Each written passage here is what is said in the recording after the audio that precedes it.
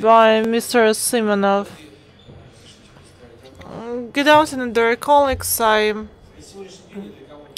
represent the Tomsk Institute. It's not a secret for anybody that the radiation therapy reduces the risk of local regional uh, regressions. We have already gathered data on that in our country, and the tumor control is important for the overall survival rate.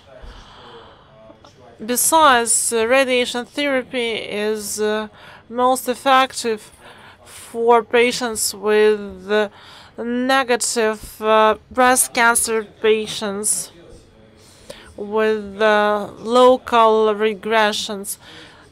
Uh, anyway, regressions occur and they depend on the morphology of tumor volume of adjuvant therapy and some other factors. Local breast cancer regressions are characterized by great variability in terms of sensitivity towards chemotherapy. Uh, they may result from the damaged tissue after previous treatment, and one of the pillars is that uh, patients have radio resistance and lower sensitivity to ionized radiation. Neutron therapy is applied for roughly 25% of patients and that is regarded as one of the way to overcome the photon resistant patients. Ionic radiation is more effective because it contributes to the death of radio-resistant tumor cells as well as those uh, cells in perineural uh, spaces and uh, blood cell flow and so on. Since 1994 we gathered enormous experience on proton th neutron therapy for locally advanced breast cancer and those methods are protected by patents. Having said that, I should uh, mention two main areas. I studied the advantages of ionized uh, neutron therapy for patients with negative breast cancer prognosis after radical mastectomy. That's our first priority. And our second priority is treatment with neutron therapy of patients with local uh, breast cancer regressions as the uh, negative form of further conventional radiation treatment Ready RT is excised either by photon or proton. At our institute, we offer the following method. The purpose of the study was to introduce the remote results of effective application of uh, rapid neutrons of 6.3 for regressive tumor. The first group, patients with local regressions, comprised 114 patients. We had the um, experimental group and control group. An experimental group, all the patients got systemic chemotherapy with different schedules, and the that was the control group, and the experimental group got neutron therapy and for 44 patients, neutron therapy was combined with photon therapy if there were indications for that, with indications being originally big uh, regression and invasive um, tissues. The in control group uh, they received electronic therapy for with 60 is a gray. Afterwards, both groups had chemotherapy and systemic therapy with indications. We developed indications to neutron and uh, neutron phot photon therapy, primary uh, and secondary recurrences of the breast cancer. Um, uh, edematous infiltrative form of breast cancer, patients with radio-resistant form of local relapse after comprehensive treatment, uh, primary breast cancer with pre-operational radiotherapy with uh, uh big fractions. This concerns rather historical aspect and radio-resistant relapses of breast cancer after previous electronic therapy um, in the area of anterior breast wall, depending on the on the spread of the relapse. There were one of four field of radiation with certain dimension. The field of radiation is in line with the spread of local relapse of breast cancer. Single focal zone was 1.8 uh, 0.8 uh, gray, and there were three five sessions of neutron therapy depending on uh, the spread and degree of invasion of relapsing lesion. This is how treatment is exercised. The beam of neutrons is perpendicular to the uh, breast wall of a patient. As to the efficacy, all patients in that group that received exclusively neutron therapy, uh, all these patients uh, had full regression of the relapsing uh, lesion. In the group of patients who were neutron photon therapy, full regression was observed uh, in big volume, 93% of cases.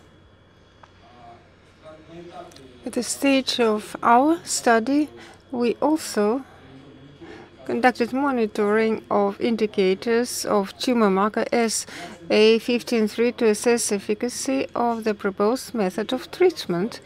This slide shows a positive trend towards positive dynamic in terms of comparison of this indicator, which in the beginning was 95% and after the end of neutron photon therapy, the mean indication went down to 40 units per milliliter. This is quite an interesting indicator. Here you see those clinical examples, full regression of relapsing tumor of breast cancer after neutron, neutron photon therapy on the first, uh, in the first case, this is a 57-year-old patient, full regression, uh, follow-up period four months, and the second case, a 36-year-old patient, three months of follow-up, and we see regression of relapsing um, uh, lesion morphologically confirmed. One of the stages of our study was assessment of the dependence of photon equivalent dose um, considering heterogeneity because the beam of neutrons is perpendicular to the anterior breast wall and we had to study uh, distribution on the lung tissue and with standard single dose that we use, such as 1.6, 1.8 gray, the incoming single dose of fast neutrons at the depth of 4 centimeter from the surface of the breast wall was 1.4, 1.5. And with, with increase of single focal zone and the number of sessions of neutron therapy, of course, we see the increase of photon equivalent dose on the lung tissue. At the same time, the total uh, photon equivalent dose in the lung in the depth of 4 centimeters is within the range from 33 gray, which is in the limit of tolerance doses for one lung. Together with that, we studied and we observed uh, some radiation damages of the lung tissue after this method a local pneumofibrosis in 14 patients.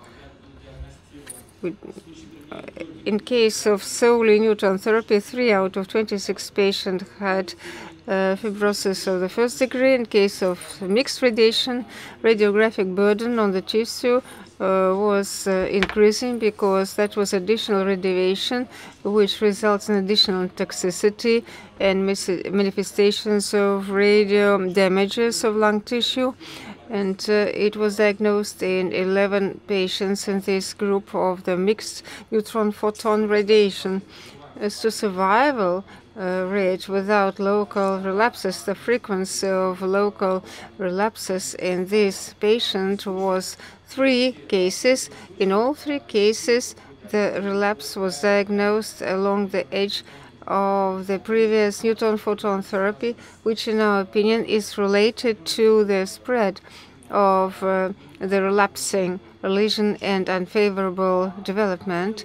In the control group, in the group that received sole electron therapy, local relapses were registered in 17 patients, and the data obtained in studying the frequency of local relapses were reflected in the indicators of uh, relapse-free uh, survival, which was 87% versus electron therapy, which is significant indic uh, indicator. This is a seven-year follow-up uh, of about 84 months. As, as, to metastatic overall survival, as to uh, metastatic free survival, we didn't find any statistically significant difference in the cases of seven-year survival, and the overall survival was um, showed the increase of survival rate versus patients who were solely on electronic uh, irradiation. The second group of patients, those patients without relapses but uh, with uh, the advanced breast cancer, uh, C2 N01. In this group, there were metastases. All in all, in this group of patients, there were 113 people.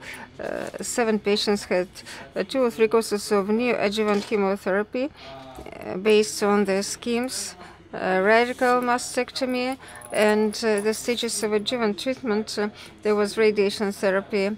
The group involved 65 patients, which went through neutron therapy uh, on the anterior chest wall, and the total was 30 isogray and the, another group with electronic uh, therapy on anterior chest wall with indications and the presence of regional met uh, metastasis in regional lymph nodes were additionally provided radiotherapy in the zone of lymph outflow.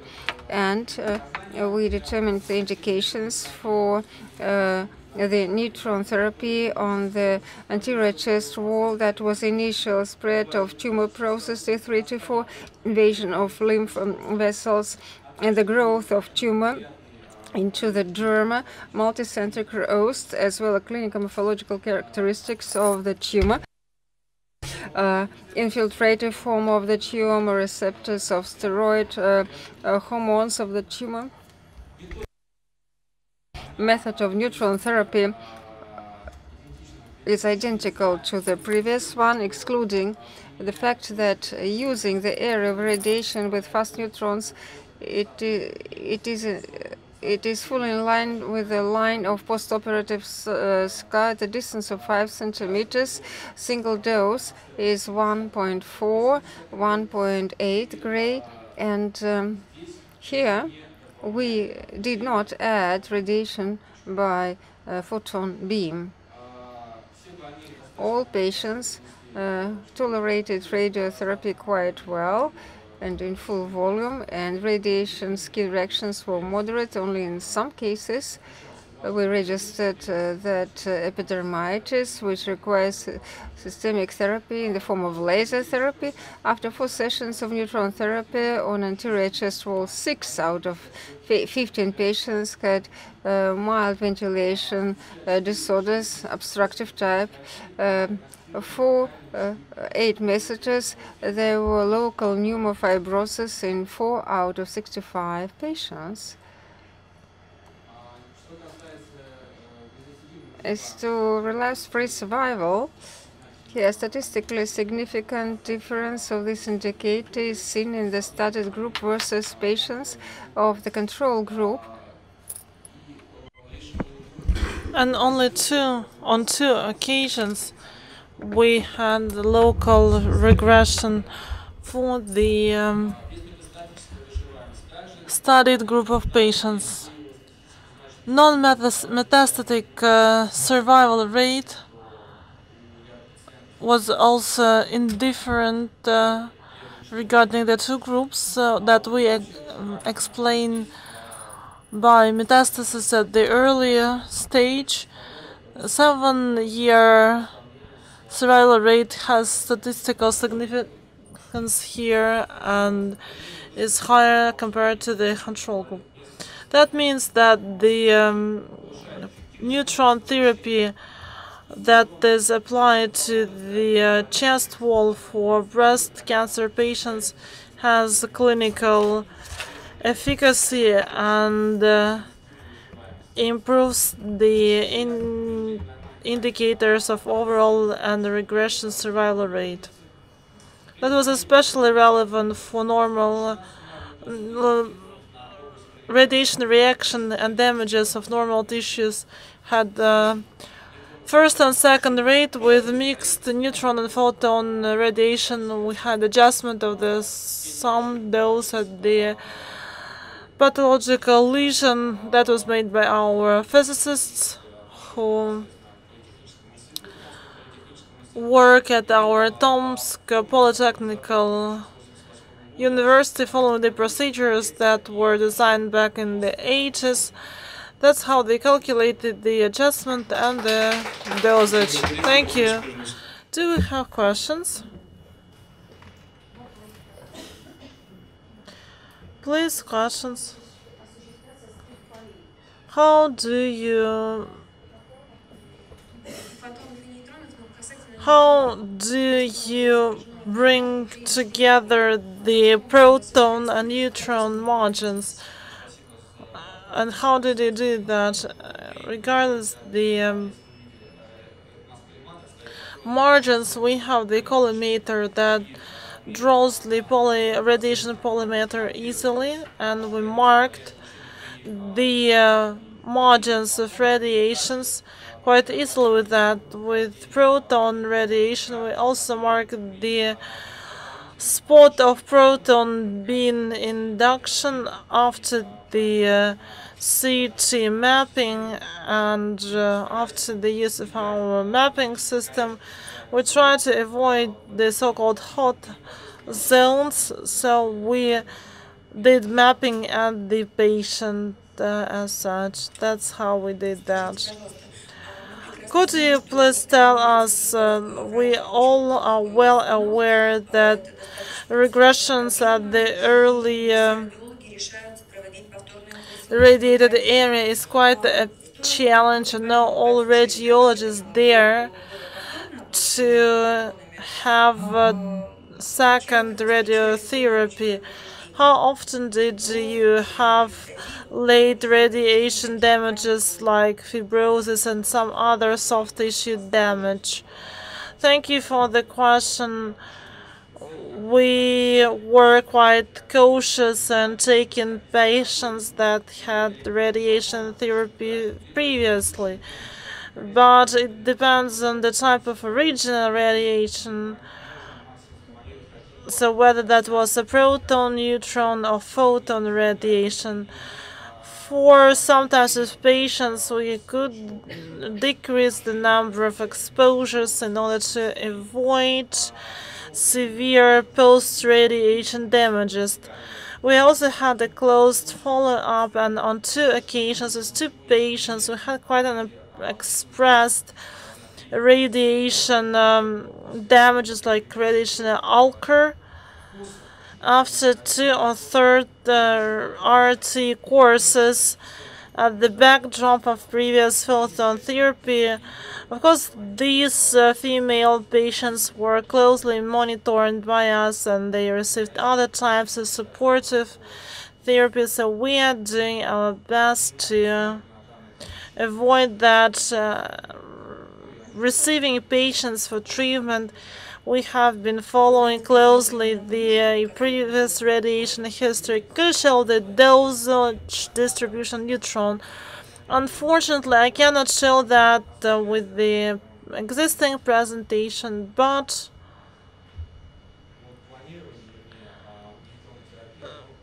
design of uh, the therapy was made by our physicists at the premises of the Polytechnical University. Unfortunately, I cannot say more about that. Thank you.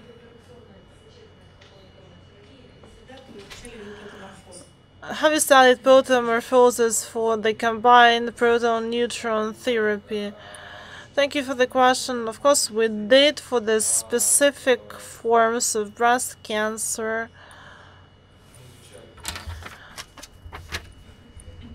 For the swallowing form of breast cancer. No, I'm just asking whether you have uh, such clinical experience. Yes, we do have it, and there are a number of theses written on that. I work with that in the notice, and not that much nowadays. You showed quite an uh, old uh, materials with this mastectomy and so on. Now there are a lot of reconstructive plastic surgery. Do you think uh, can your technologies be applied uh, for patients with the reconstructed uh, breasts because they have completely different tissues? Yeah, well, our methods are quite aggressive as far as breast tissues are concerned, uh, which is especially relevant after reconstructive plastic surgery and we should take uh, double precautions uh, when we administer this type of radiation therapy. Some hospitals are even afraid of photon therapy for this type of patients, not to mention the proton therapy, but I think it's quite a, an exciting challenge to go.